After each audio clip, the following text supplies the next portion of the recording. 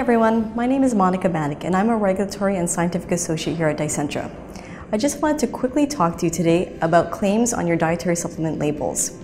We all know that a really great claim can help sell your product, but do you have the right type of evidence to support the claim on your label? Are you currently marketing a dietary supplement with a structure function claim? And if so, how did you and your team come up with this claim? If these are questions that you and your team have, we here at Dicentra can help you find the answers.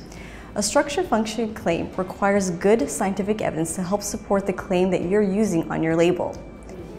If you're not sure of what kind of evidence you need for a specific claim, we can help you to review the science behind your claim, or maybe you'd like to come up with a new claim, and in which case we can help to keep your marketing and regulatory team happy.